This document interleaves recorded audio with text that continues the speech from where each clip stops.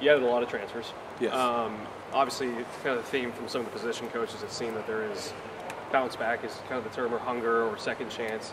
I guess Yeah. was that kind of the tenet you were trying to find within these guys when you got to know them that they had that want to to have a to take advantage of a second Yeah. chance. You definitely want to know they love football and they're hungry, right, for that opportunity. I mean, you think about it, why would you get a transfer anyways? You're going to get a transfer because he's probably graduated somewhere and wants more playing time.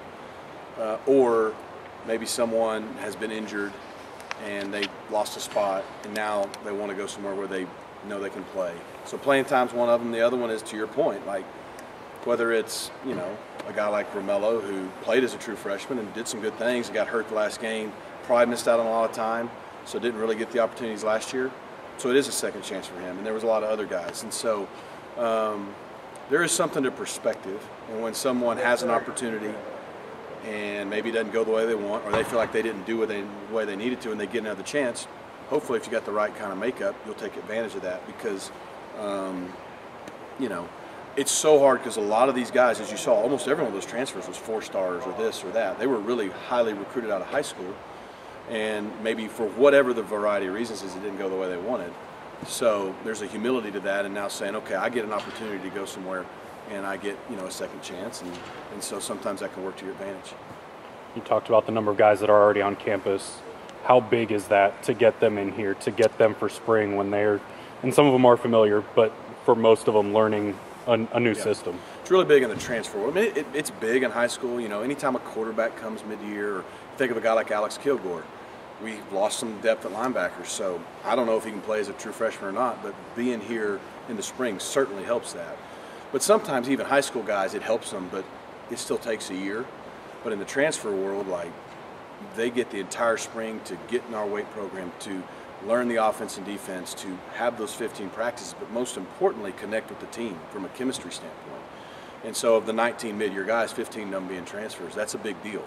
And um, you know because only two of the transfers that have committed to us so far aren't here yet. And um, so i think it's it's a really really big deal in the transfer market You mentioned about half and half transfer in high school. Did you and your staff go into building this class with a specific number in mind of how many veteran experienced guys? And if so, how did you arrive at the number that you Yeah. came up with? We did not have like a total end number. Um, obviously, the way the, the, the rules have changed, there's not a hard cap anymore.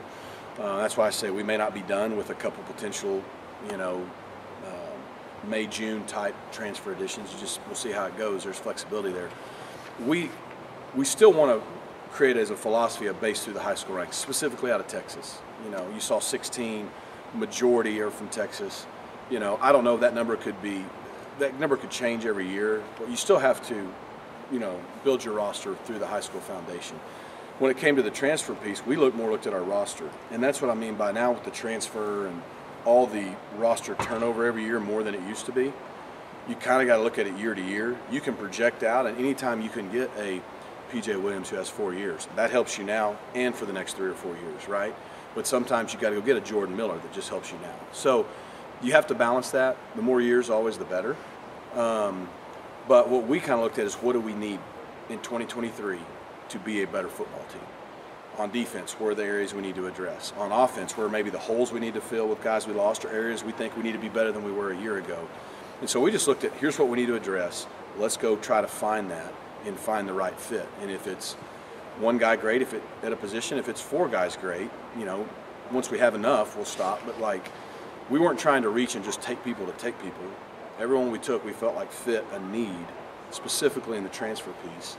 Um, and so there wasn't a total end number inside. It was like, let's go get players that make us better, especially in the areas we either need depth or we need to replace guys that can come in and play right now and not wait for them to develop like, say, some high school guys have to.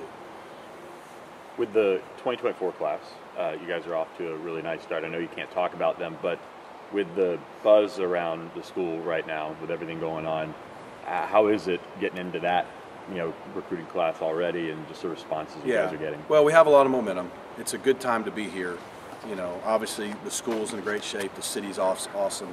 We've been winning, you know, for multiple years now. We're building a $110 million facility. So there's a lot of really positive things um, that, you know, SMU's already a national brand, but it's helping us with that for sure.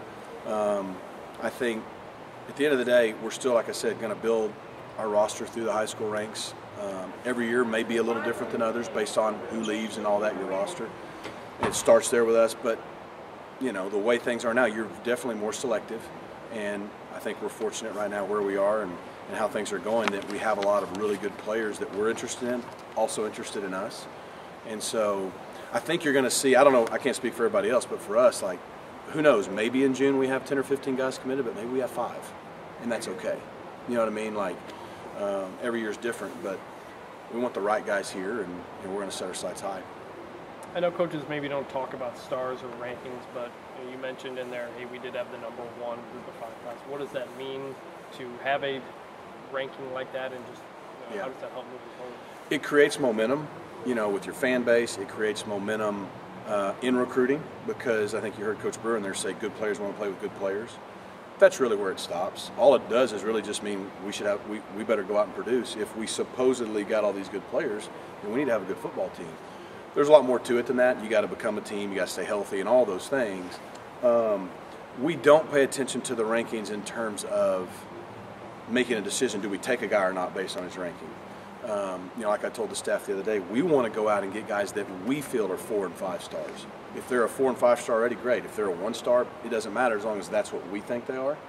Um, but it does help perceptually, um, both for momentum in recruiting. You know, like I said, if you get two or three really good players in a class, more people want to come play with them, and so it helps from those standpoints for sure. When you have a day like today and you and your coaching staff talking about all these new players and everything they do well, what kind of feedback have you gotten from your returning players who see the, the new cavalry of talent coming to town? we're honest with them. You know, we said, hey, we're going to go out and we're going to try to add value to our team. It's it's your team. Every year we're going to bring in new players from high school. Train. It doesn't matter. It happens everywhere around the country, right? And competition's a big part of what we want to be built on here. So we can't be scared of competition. It makes everybody better. Uh, but we're honest with them. We're going to bring in as good a players as we can to add value to this team. And it's not because we don't love you or we love, it, we love everybody. The way they come in, everybody makes everybody better. And so if it works the right way and you bring in the right guys, they make your team better, but it also elevates the level of the guys on your team. And now you got some really good competition. And it, hopefully, if it elevates the level of the play of the guys on your team and you brought in the right guys, you can play more guys. You know what I mean? Because I know on defense, defensive coaches want to play more than 11 guys. They want to run D lines off and on. They want to stay fresh throughout the game, especially the way it's played now on offense. And I know for us, we throw it deep a lot. It's good to put a fresh receiver in there or a fresh back in there. And even last year, having more than five O linemen helped us. So it can go really, really well if everybody embraces it. But that's what I kind of said in there at the end. You still build programs, but more than ever, you're building a new team every year. And that's going to be the biggest part of are we successful or not is do we take our current guys who I feel like we have a good culture on our team from last year. And then we got all these new guys coming in from high school, college, and all over the place. And how quickly can we become a team and mesh well together will determine how good we are. We got to meet uh, Maurice Crum up there for a bit. Um, when you guys went through the hiring process for that spot, I mean, what stuck out about him and, and what does he bring to the table Yeah. from your end? Well, I mean, you could just hear him speaking there. He's just a very um, low key, confident guy. I think he's all business. I think he relates well to the players. Got a great resume from playing at Notre Dame to where all he's been coaching, most recently at Ole Miss, Western Kentucky. He's been a coordinator. And I know when Coach Symons was looking to fill that spot, he had a lot of options, a lot of flexibility with what he wanted to do. I think we were just looking for the right fit for our defense. And you know, they've had a connection in the past. I know he's close with Coach Hunley, Coach Tibbs, so he knew some guys on our staff, and that matters. And so when we had the opportunity to, to maybe add him to our staff, it just made sense. And, you know, so far a few weeks in, I mean, he's, he's been great. He's fit right in. Aside from the secondary, not a lot of one and done immediate fix in the transfer portal guys um, throughout the team. I guess for this cycle, how important was it not only to get guys that, like you said, that could help in 2023, Yeah. but guys that you can maybe take them, you know, ball of clay, mold them, and for 2025, get some talent in there. I think, like I said originally at the beginning, like you always want the more years, the better, right? Because you've got more years to develop them, and then obviously be a part of your team. But there are certain times where if you can get a really good player that's a difference maker, he's only got one year. It is what it is. But yeah, we, because like I said earlier, you have to address your issues for now for this coming season every year, right? Because we got to win now. It doesn't matter if we're here or anywhere else. You got to win. You got to win now. But anytime you can address an issue for now and also for the next couple years, that's a, a win-win. And so anytime you can do that, that's that's that's a big deal for us. Coach Symons obviously had connections with the guys coming from Liberty. You had the connections with the guys coming from Miami. How different were those conversations uh, compared to when you're meeting players for the first Right. time? And how many of them reached out to you because of their familiarity with you, and, as opposed to you reaching out to them and saying that you've got a spot for a guy at a different one position or another? Yeah, um, it's totally different because you you don't have to do the introduction part, you know, and you probably know their parents and all those kind of people in most cases. And there's a familiarity. They know how you coach. You know how they react to coach. All that stuff kind of done. I think it says a lot about our coaching staff, the coaches on our roster from Miami or Missouri or Liberty, places that they had been. For when players decide to go in the portal, they want to go play for you again. I mean, to me, that speaks volumes of the type of coaches we have on our roster. Because if it didn't go they wouldn't want to come play again, right? They'd be going somewhere else. Uh, and in some cases, in most cases, I think they, in half the cases, I don't know, they probably reached out to us. I mean, once they went into the portal, you know, if you if you knew them, you're hopeful that you'll have a good chance just because of that familiarity. In a lot of cases, quickly they said, no, no, I'm I'm very interested, or no, that's where I want to be. Sometimes that simple. So. You mentioned in there the alignment between everybody in the school. Uh, how important has that been for the program and the future of the program in the school? I think it's big. I think it's a, a really big reason why I think our athletic program, especially our football program right now, is in a really good position um, to maybe seize the moment we're in. Because I know Dr. Turner is just doing everything he can to give all our athletic programs, specifically football, uh, all the resources we need to be successful. I mean, you just look no further than the facility he's allowing us to build with all our, our donors. And then uh, what, what David Miller and, and Rick Hart are doing too. I mean, it's big because it's not that way everywhere. And it hadn't always been that way probably here in the past. But it is now, and, and that's, uh, that's the first step to having a really good, stable, consistent program. One of the things Sonny said at Sonny Dykes said at his first one here was that what was in place here was better than when he was at Cal, Power Five place. How has what is here compared to where you've been in the Yeah, past? it's been good. I, I think I've said this before when, when I got the job. I think to some at some point, I'm kind of a benefit of a little bit of a pickle jar effect. You know, I mean, started with Phil Bennett, and then you had June Jones, and then you had Chad Morris, and then you had Sonny, and each coach, you know, it was getting a little bit better from admissions to facilities to just all the things that it takes to have the support that you need and have that alignment. I think it just slowly got better and better and better. And so I was fortunate to get here at a time where it was getting probably at its best during that process. Hopefully, it continues to get better every year.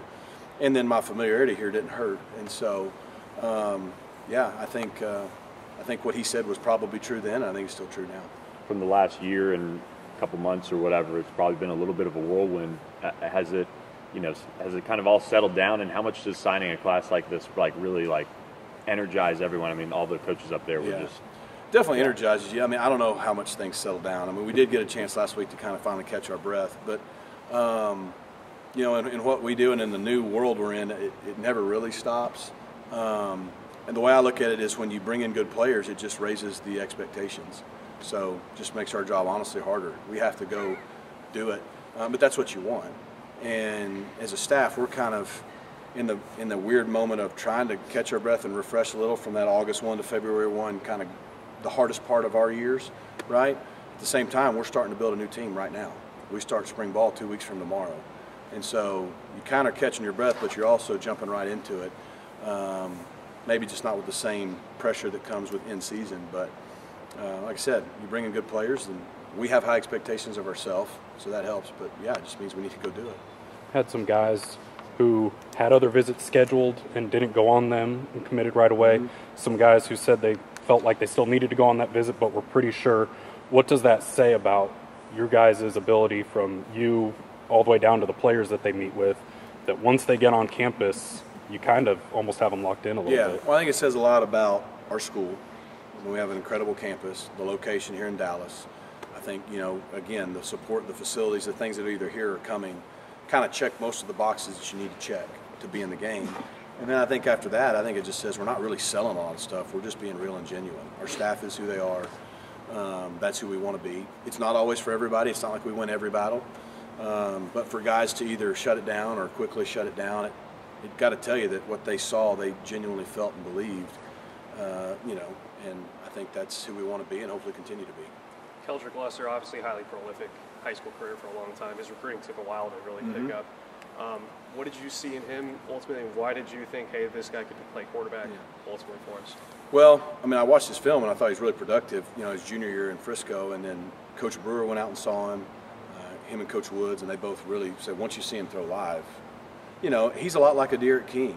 He didn't have the height requirements. That's why his recruiting took a while, because it is what it is. I mean, people look at it and go, well, he's not over six foot. Eh, you better be really, really good. Well, turns out he was really, really good. And that's what I remember Johnny and even Casey saying when they went and saw him is Johnny said, hey, he's got some of those D'Eriq qualities when you just see how he carries himself, how he acts with the players. He can throw it, he can run it. D'Eriq had those big old strong legs. So I think that's kind of what we saw. And like, like he said in there a little bit, we've had positive experiences with guys like that. Take one more for Coach. Just Jamarian Carroll um, finished as a four star for us. Yeah. Um, you guys uh, showed that clip of him jumping over the guys. Um, when you bring in a guy like that, when SMU's had this history of producing receivers, you kind of look at him and say, I, I, I could see him being the next one. Yeah, I mean, our reputation with receivers recently helps. Um, he's one of those guys, you know, when high school guys commit, you never know until they sign, right? But there's some guys like I feel pretty good about him. There's other guys I don't know, and then there's other guys you go, man, we just got a really, really good player, and people aren't going to stop. And so he would have been one of those guys where like, man, we got to hold on to him all the way to signing day. And I think the fact that he wanted to come here um, probably speaks a lot of what he feels about what he can do here based on other receivers in the past. I do think he fits right into the style of guys we want to have the Rashee Rices, the James Proches, the Courtland Suttons, you go on and on, like, and the guys we've also had in our system. I think, you know, from a physical standpoint, the traits he has, I think fit in really well. Um,